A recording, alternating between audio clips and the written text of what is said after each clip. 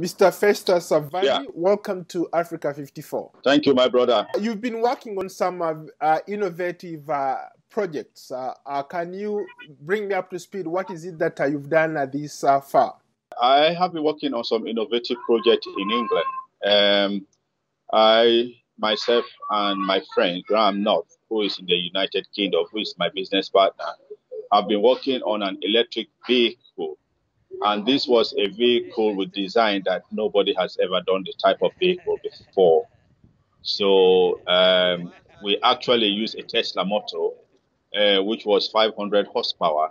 So we upgraded that to 700 horsepower.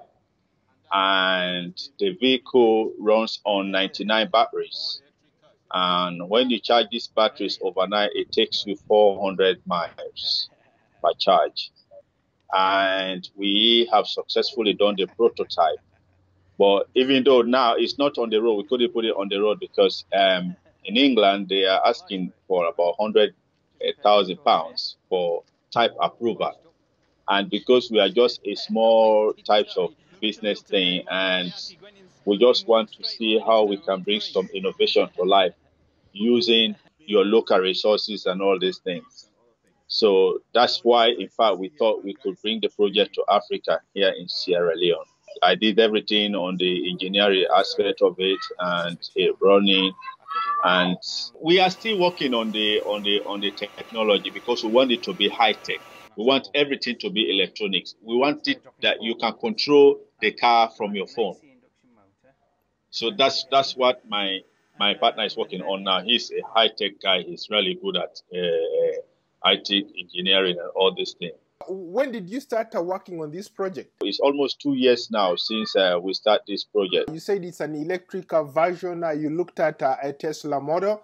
Uh, does that mean that uh, you're going to be competing with Tesla, or you uh, figured out a way to work with Tesla so you could use some of their things on your car? We are thinking to actually manufacture our own motor in our own way, our own design. But we decided to start with that motto because we, as I say, a pivot point to see how it works, how the technology works, and then you can learn from that and make your own.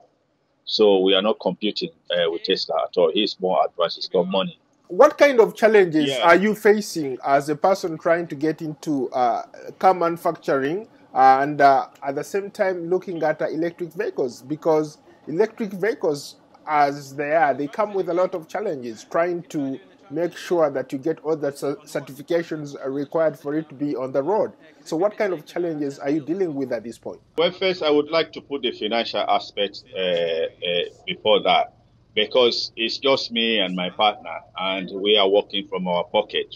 You know, he's working in the IT industry, and uh, I am also working the, doing the motor mechanic, and so we both raise money to facilitate this project is quite challenging, which was why we thought that we could come uh, to Africa with this project, wherein you can fix it, try it on the road, see where the problems are, and then rectify the problems. Whereas in the United Kingdom, where we have fabricated this thing, they will need a type approval, which will cost about a hundred grand. You know, so affording that can be very difficult. Since we've been doing this thing, we haven't got any sponsorship yet, so we are doing everything out of our pocket.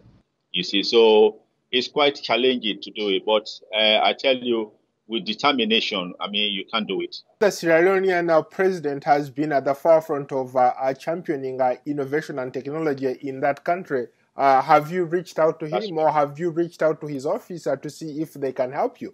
No, I haven't done that yet. There is this thing about Africans and dream. We got dreams, but we sometimes don't believe in the dreams.